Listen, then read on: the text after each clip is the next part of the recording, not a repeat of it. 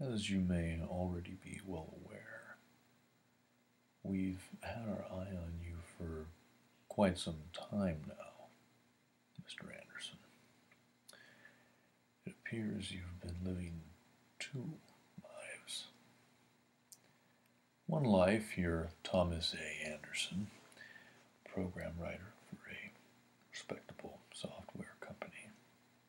You have a social security number, pay your taxes, and you even help your landlady with her garbage.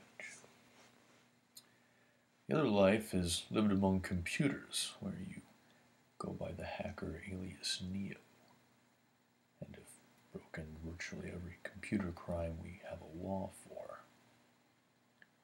One of these lives has a future, and one of them does not.